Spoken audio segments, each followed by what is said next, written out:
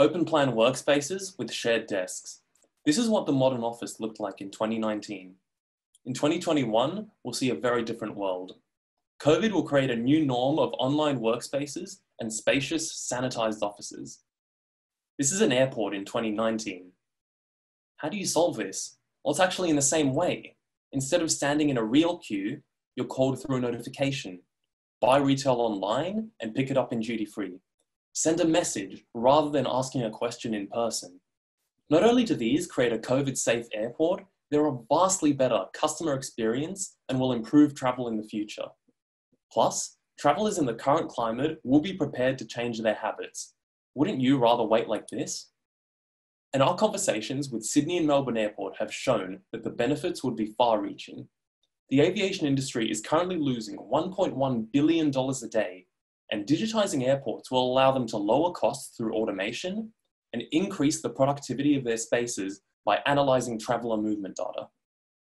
So we're building a platform for all the services travelers could ever need at an airport, along with the tools airports need to analyze the data we collect. We'll have all the features we mentioned before, as well as terminal maps that will show travelers cleaning times, where they can sanitize, and a route to their gate. These are the issues that 60 people we interviewed felt were most important, and our solution will stand high above the competition. Current apps lack integration with airports or are limited to only one, and no one wants to download an app for every place they travel to. We'll charge airports a fixed rate based on their size, plus 50 cents per passenger billed monthly.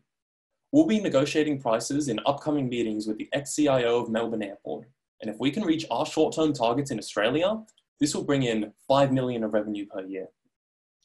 The timing for this couldn't be better with airports only just starting to prepare for travellers to come back.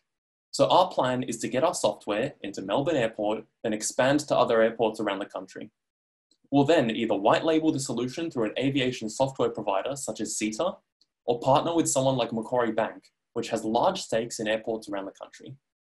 And since we're founded by software engineers, we'll have no development costs. So something like $10,000 will last us a long time. We have the connections to make this happen. Along with our contacts in Sydney and Western Sydney Airport, we've been referred just in the last week to executives of Melbourne Airport and Scentre Group, where our tech could be applied to shopping centres. My name is Misha, and my co-founder Anuj and I have a vision to create one worldwide platform for all airports, so you can have a seamless travel experience anywhere.